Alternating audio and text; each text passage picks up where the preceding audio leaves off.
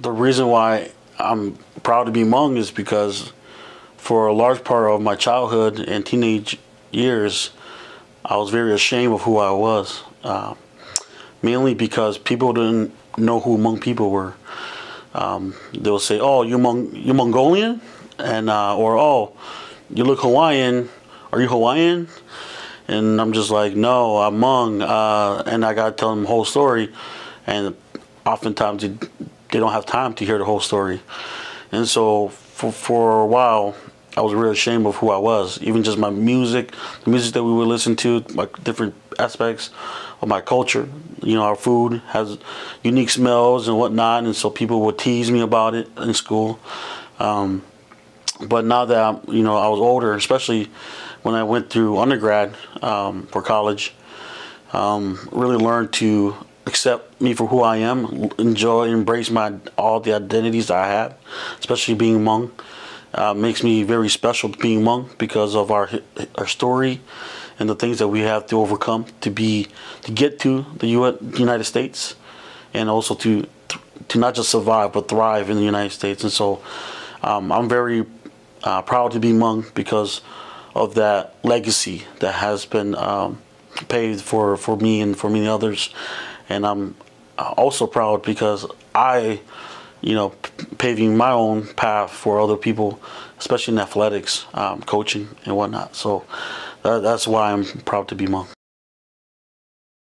So I've been playing with Witness for a little over 11 years now and became captain in my third year just by being consistent. I just showed up.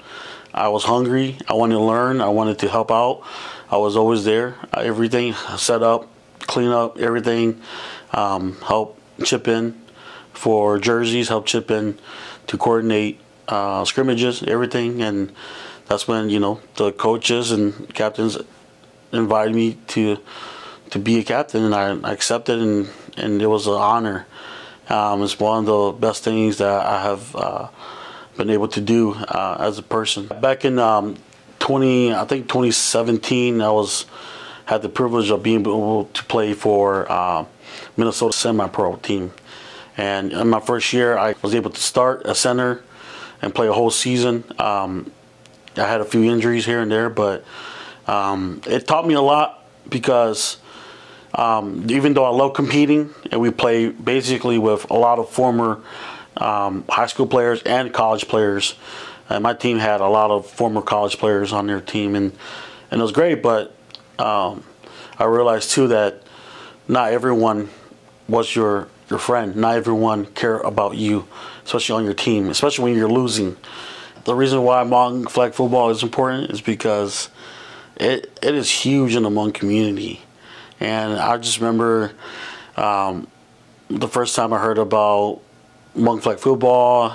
Flag football, man, that's that's soft. Like, you know, I want to play tackle football. You know, um, and I never understood it. You know, I never understand it, and so um, until I saw it, until I experienced it. And it was like, dang, this is, you got to be tough. You got to play multiple games. You got to sit through the, the heat and the sun, and you got to like grind through so much adversity, um, especially against, um, you know, the other teams, and then play all those games in one day or two days is, is brutal. Hmong flag football is even bigger now, you know.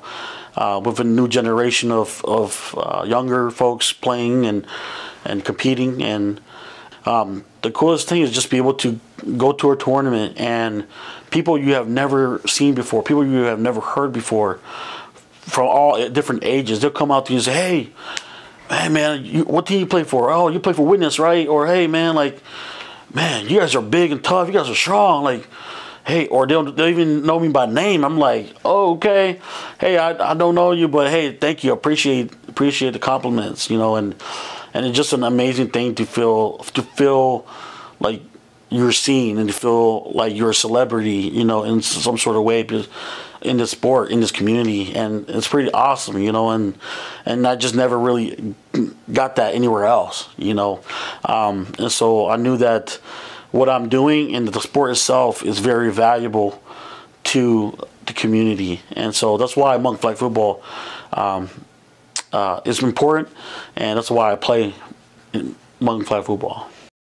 My favorite tournament has to be hands down Wausau. And it's just so many things about Wausau that you gotta love. Like it's not too far of a travel from the cities. It's two and a half hours. It's a, it's a smaller tournament in a smaller city, and yet it's still competitive. The biggest thing with Wausau that I love is just being around the guys and being able to eat together, hang out together, mess around, chit chat, tell stories. Um, even spar a little bit boxing wise, uh, stuff like that, and uh, and build those memories is always a great trip to go to. So that's why Wausau is my favorite tournament.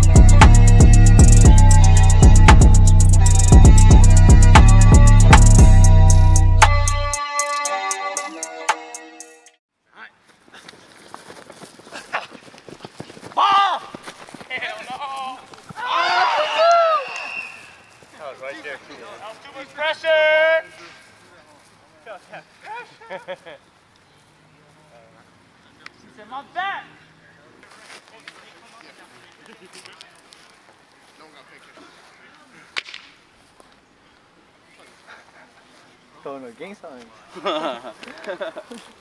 we don't do that over here on Witness Football.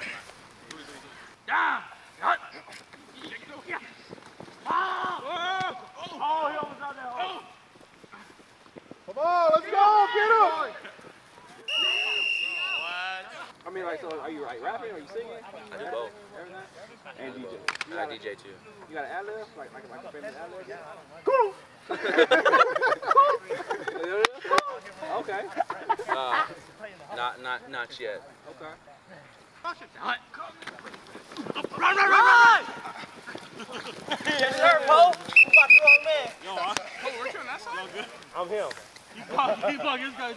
I don't know if you if you mess with the EDM coach. I be, Right, dog. you know, right now. my wife vibe, you feel me? Shit, she'll be out there.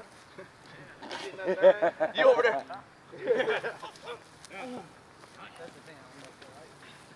What's your favorite genre? Favorite genre? Uh, two, R&B. Two for the win, one for the tie. Let's go. I'm a, I'm a, I'm a 90s R&B person, 90s, 2000s. I mean, then I do like 80s, 70s, like R&B period, and I probably hit, hit, the- hit the rap hip hop. Second day.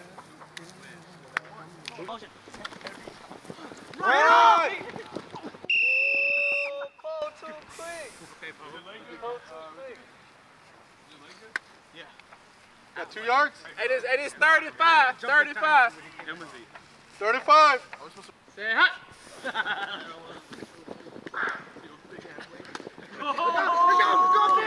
Go, good going, let's go.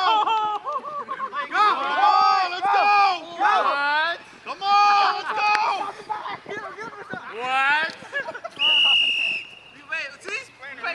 Come on, D, let's go. This is supposed to be good, right? DB hands? That's why they're DBs and not receivers. Right. Because they're can't catch. They can't But they're supposed to do intercept. That's that's just a plus. Oh, I see. They, they have to just to bat it down. I see. And remember where the sticks at. Way, long left.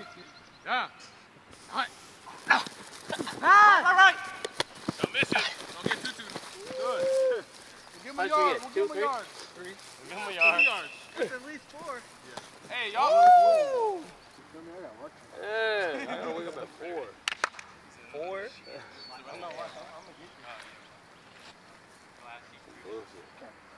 No, that I work at five thirty. Alright. You know, you know my life. I do. My bad. Come on, D-man, just zoom it.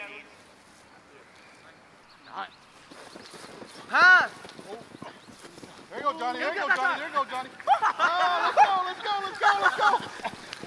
Come on, Lenny. Oh, oh yeah! Oh! That's a nice big play. Long Vic. Oh, that's to the crib.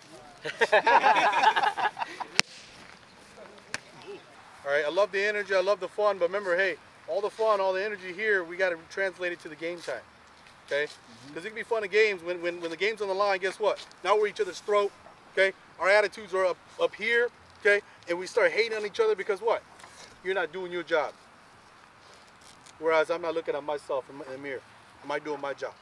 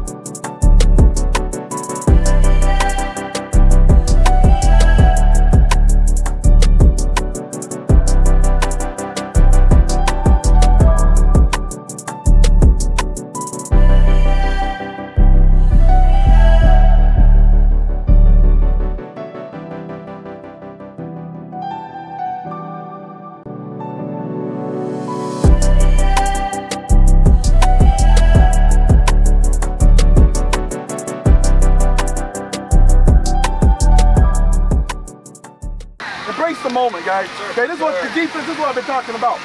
All right, before halftime, what did I say? Defense. Pick six. We get a pick six. Okay. All right. Okay. Sometimes you say it, you believe it. What? Who's that? Hope. Hope. Dreaming, right? Come on, Okay, okay. Hey, that's what I'm talking about. Sometimes things we talk about manifest because we believe in it. And do you believe in yourself in making that play every single time? I believe in you guys. That's why I would never say those kind of things if I didn't believe in you. Yes, sir. So believe in yourself because I believe. Coach Vi believes. Coach HD believes in you.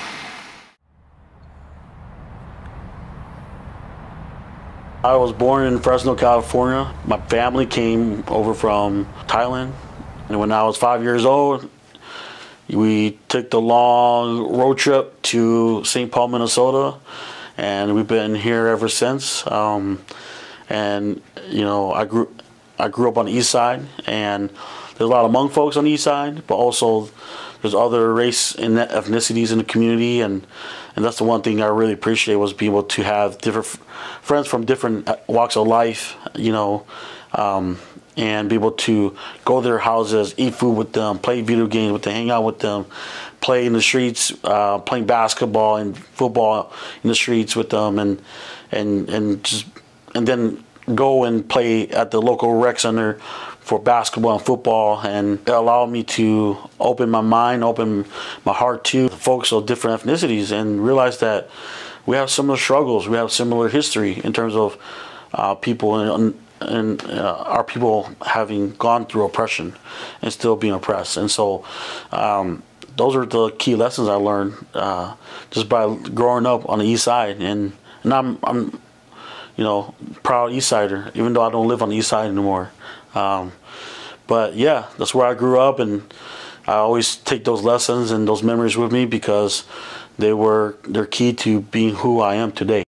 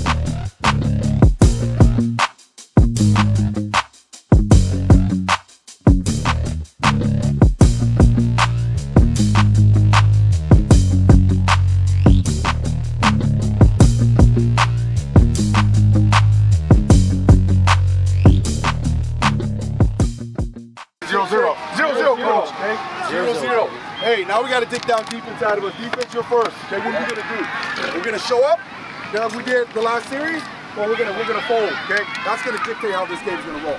I'm gonna tell you that right now. Okay, defense, you better dig deep down, deep, deep inside, and figure out how you're gonna do this this next drive right here. Okay, overall win this game.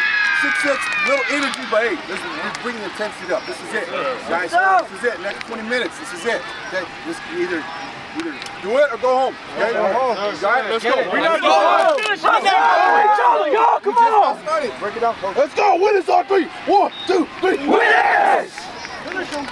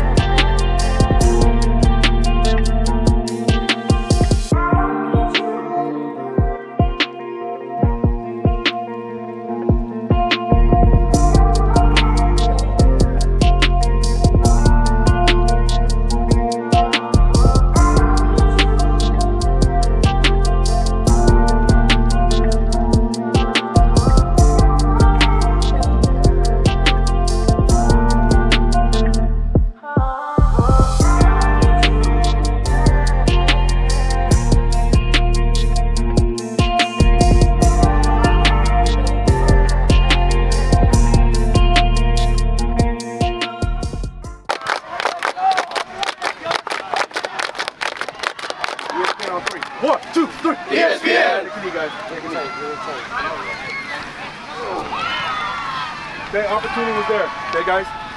Opportunity was there for us. Okay, not one. We all made our mistakes. Okay, collectively mistakes. Okay, and we got to dig deep down inside. and Say, hey, look, what kind of what kind of team we are? What kind of player we are? Okay, it takes a lot of communication. Takes a lot of lot of chemistry. Okay, from the quarterback to the receivers to the defense, make sure we hit in the right seams and gaps and stuff like that, guys. Hey, we're better than this, guys. We get to the two-yard line, we get over here, we get over the guys. We're moving the ball, guys. It's not like we're not. So do not let your head down. If you let your head down say, hey, look, because we lost, guys, I believe that we won that game. We just didn't have enough time. It ain't the outcome we like, guys. It's not. It hurts. But collectively, guys, okay? We all made our mistake. We all made, even coach, I made mistakes calling games, okay? But at the same time, we saw big games. We saw big things happen this week for us, okay? We allowed them to win this game. We allowed them to. We're better than this. We're way much better than this, okay? Defensively, way to respond at times when we needed to. I say, hey, look, when we stop here, guess what? I believed in it. Offense, when we wanted to move it, we moved it all the way down. Okay? We got to buckle up. We got to focus on the little details from here on out. Okay? And I know that, hey, it hurts, guys. It hurts because we're right there. Every single time we get out here, we're right there. And it hurts. I wanted to sting, guys. I'd rather win, but guess what? Sting and let's get better from here.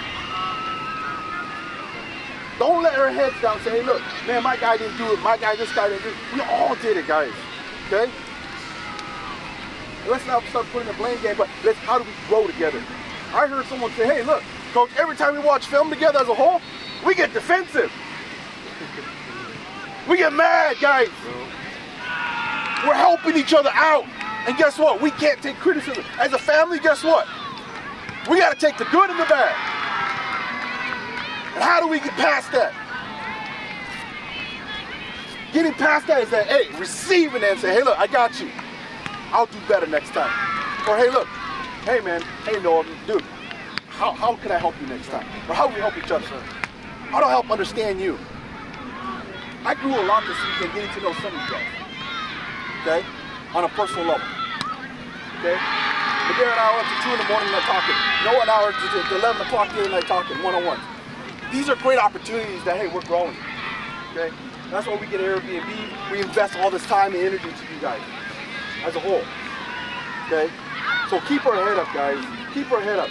It should have been ours, and it hurts. All right? Bring it in.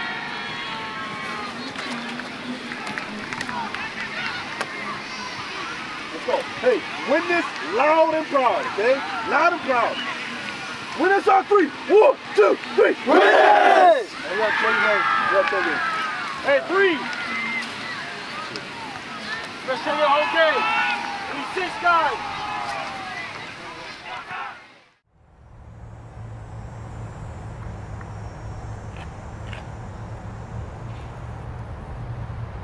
when I first started with Witness, the hook that kept me coming back to practice was um, Vi and, and James were very intentional about building a relationship, especially Vi at that time. And, you know, maybe he just needed a a fishing partner or, or whatnot. Um, but, you know, he will always uh, call me or message me, me and Chi specifically, uh, who is uh, a former player and former captain. And we would go fishing, bass fishing, and we would go buffet.